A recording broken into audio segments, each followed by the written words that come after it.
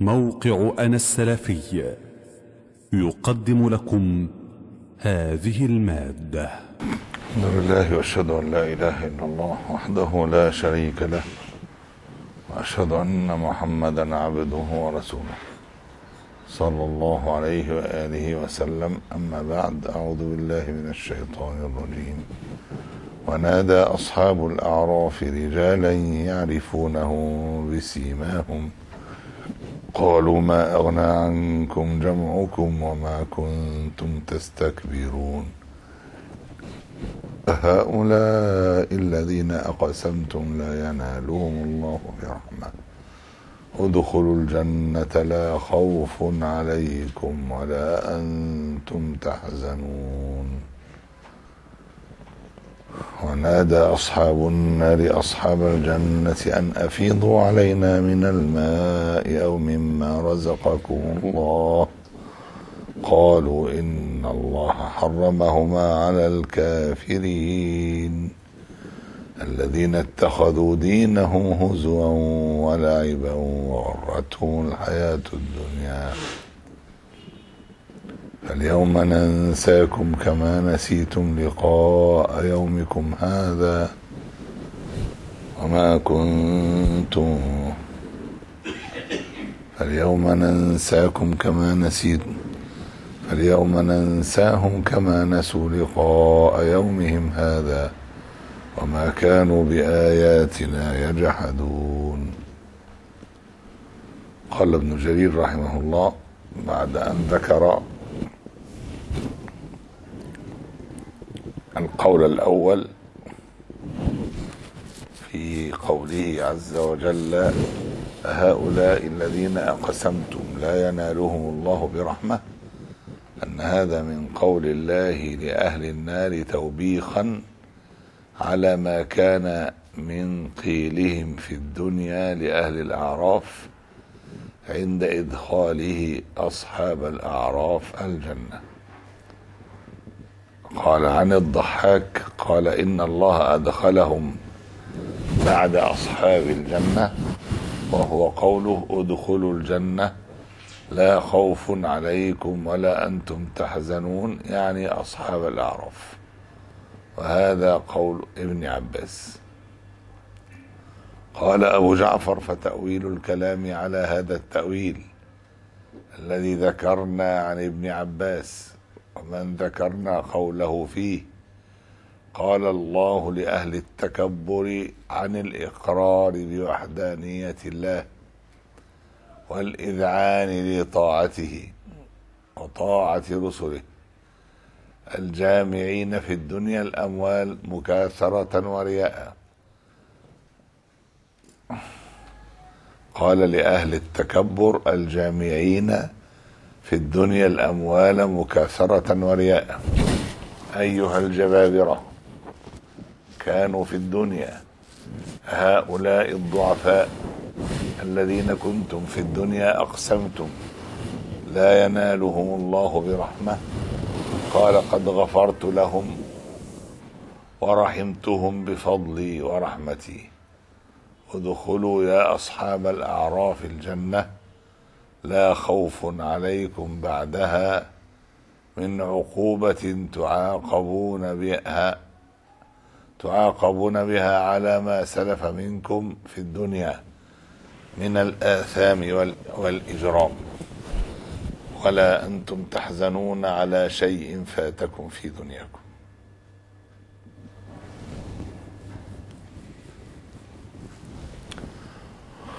وقال أبو مجلس بل هذا القول خبر من الله عن قيل الملائكة لأهل النار.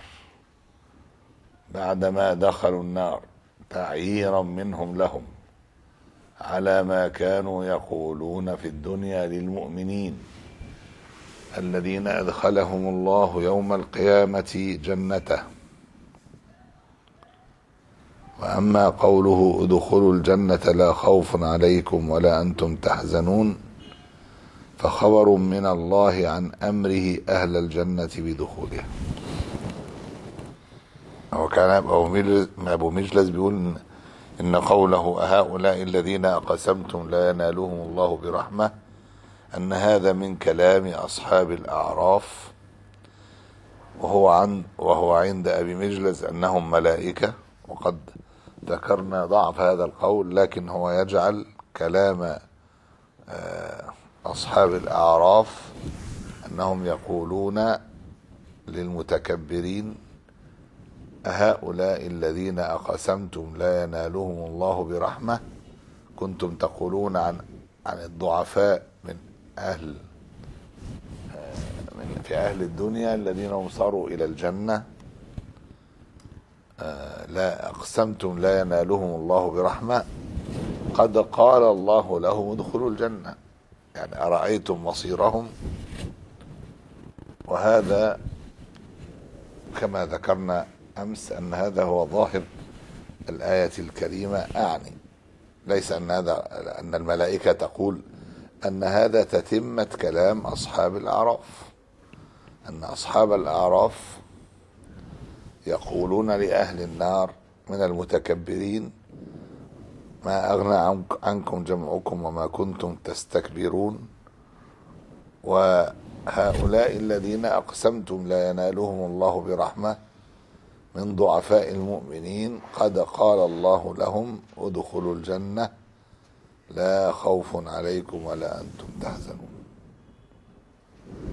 عن أبي مجلس قال نادت الملائكة رجالا في النار يعرفونهم بسماهم.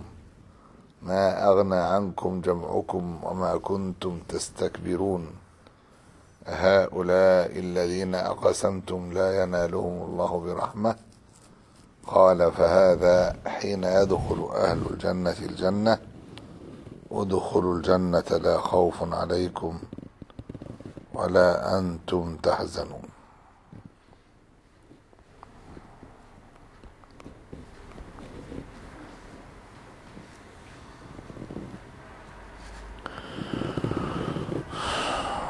قال ابن كثير رحمه الله.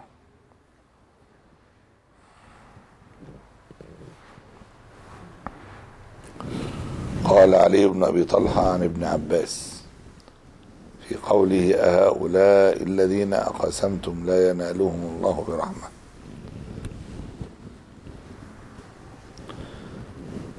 يعني أصحاب الأعراف ادخلوا الجنة لا خوف عليكم ولا أنتم تحزنون. عن ابن عباس قالوا ما أغنى عنكم جمعكم وما كنتم تستكبرون الآية قال فلما قالوا لهم الذي قضى الله أن يقولوا يعني أصحاب الأعراف لأهل الجنة وأهل النار قال الله تعالى لأهل التكبر والأموال هؤلاء الذين أقسمتم لا ينالهم الله برحمة ادخلوا الجنة لا خوف عليكم ولا أنتم تحزنون. وذكر الأثر الطويل عن حذيفة في الشفاعة الذي سبق قراءته.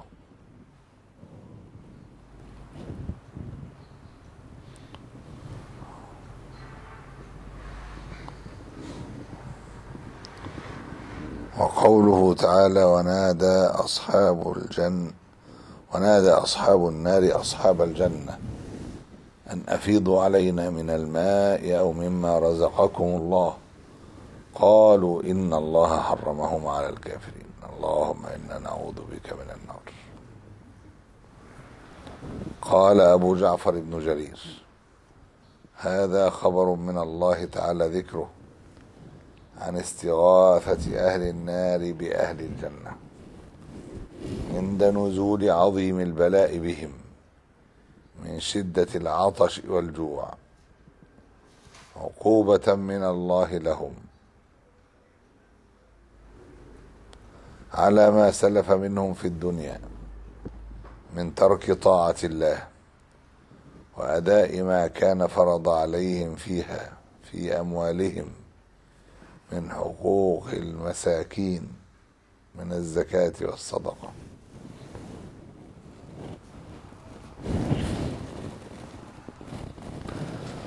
التخصيص بذلك فيه نظر يعني أصحاب النار دخلوا النار بكفرهم ونسيانهم أوامر الله فاليوم ننساهم كما نسوا لقاء يومهم هذا. وليث ويعني وتخصيص أنهم لم يطيعوا الله في الزكاة والصدقة في حقوق المساكين هذا جزء من سبب دخولهم النار مع كفرهم. قال يقول تعالى ذكر ونادى أصحاب النار بعدما دخلوها أصحاب الجنة بعدما سكنوها. أن يا أهل الجنة أفيضوا علينا من الماء أو مما رزقكم الله. أي أطعمونا مما رزقكم الله من طعام. عن السدي أن أفيضوا علينا من الماء أو مما رزقكم الله. قال من الطعام. قال ابن زيد. أن أفيضوا علينا من الماء أو مما رزقهم الله. مما رز أو مما رزقكم الله. قال يستطعمونهم ويستسقونهم.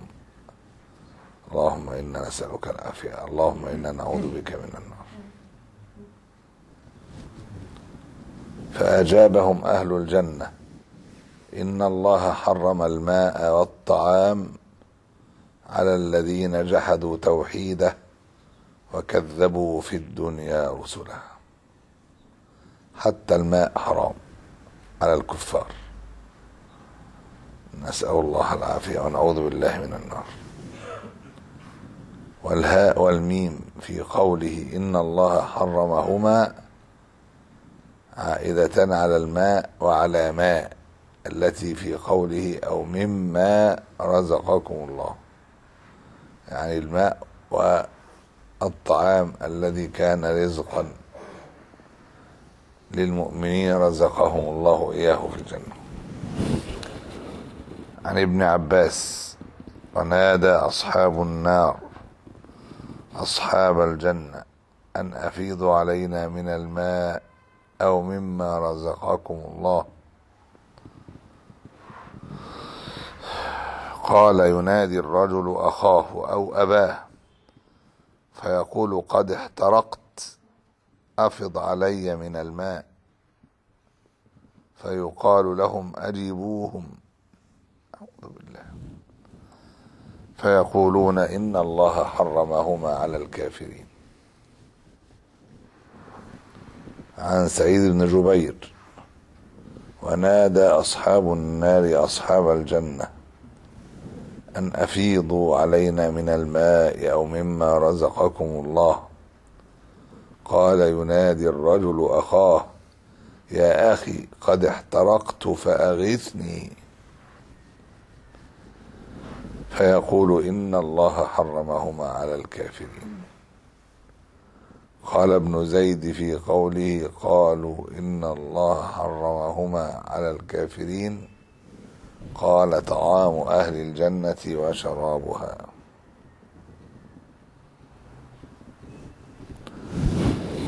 الذين اتخذوا دينهم هزوا ولعبا.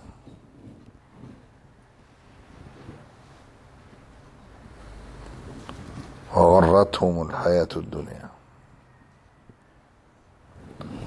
فاليوم ننساهم كما نسوا لقاء يومهم هذا. وما كانوا بآياتنا يجحدون.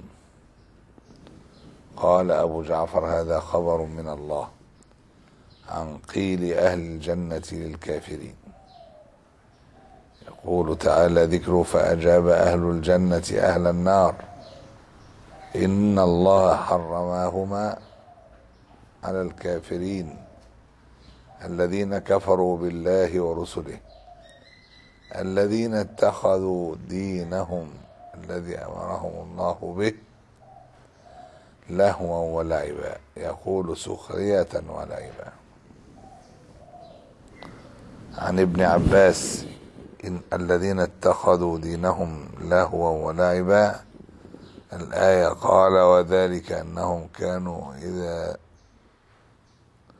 كانوا إذا دعوا إلى الإيمان سخروا ممن دعاهم إليه وهزأوا به اغترارا بالله وغرتهم الحياة الدنيا. يقول وخدعهم عاجل ما هم فيه من العيش والخفض والدعة. الخفض يعني لين العيش. ليس الصعب السهل يعني. إن العدد إن المكان ال- ال- ال- الم- السهل بيبقى اسمه منخفض. فأصبح السهل يساوي الخفض.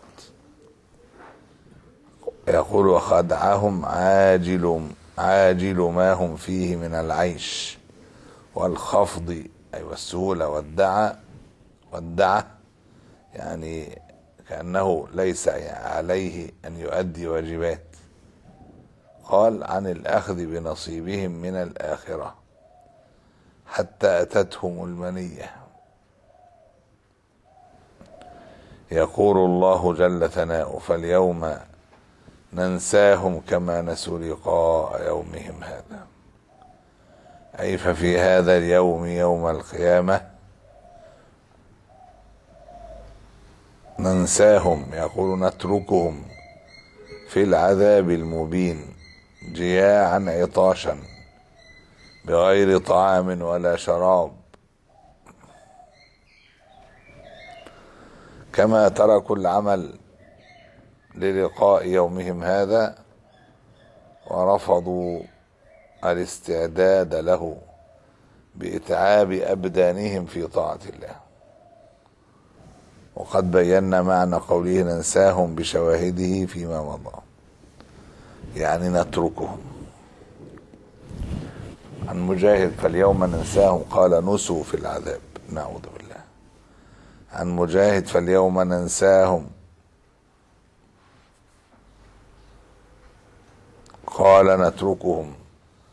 كما تركوا لقاء يومهم هذا. عن مجاهد قال ننساهم نتركهم في النار.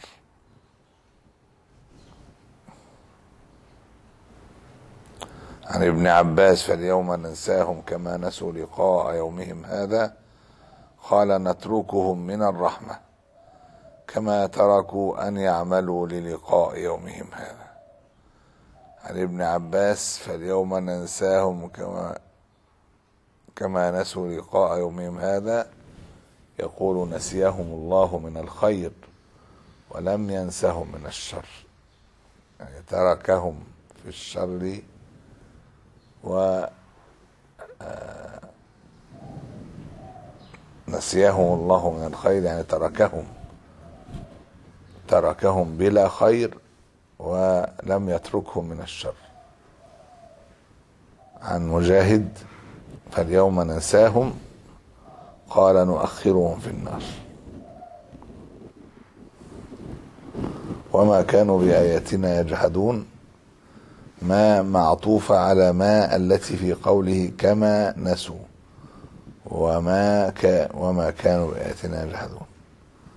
قال أبو أبو جعفر وتأويل الكلام فاليوم نتركهم في العذاب.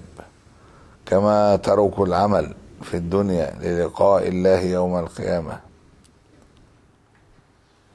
وكما كانوا بآيات الله يجحدون وهي حججه التي احتج بها عليهم الأنبياء والرسل والكتب وغير ذلك. وما كانوا بآياتنا يجحدون يكذبون ولا يصدقون بشيء من ذلك. نعوذ بالله من النار وحال أهل النار. أقول قولي هذا وأستغفر الله لي ولكم.